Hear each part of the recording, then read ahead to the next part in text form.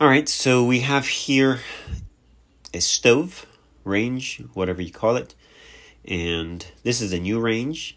So when you get your stove, it's going to have the nuts on the terminal block.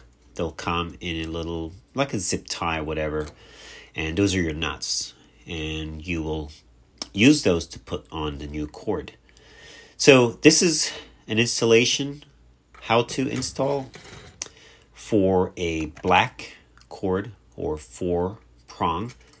So if you look at your plug, it's going to have four prongs. The three wire plug, I think I have a video on that. I wanted to keep them separate because it's less confusion uh, for someone trying to just hook up a cord on their stove, and this is for four. So you have your green wire, that's your ground. And as you see, I had that jumper. I removed the green screw, and that's where your green screw is going to go. That's your ground strap. Um, so that's where that's going to be screwed, and then you're going to put the rest of your wires on. That jumper, that metal piece, you do not want to connect that to the body of the stove. It needs to be isolated. So make sure it does not touch the body. And then you just put your black to black, white to white, and of course, red to red.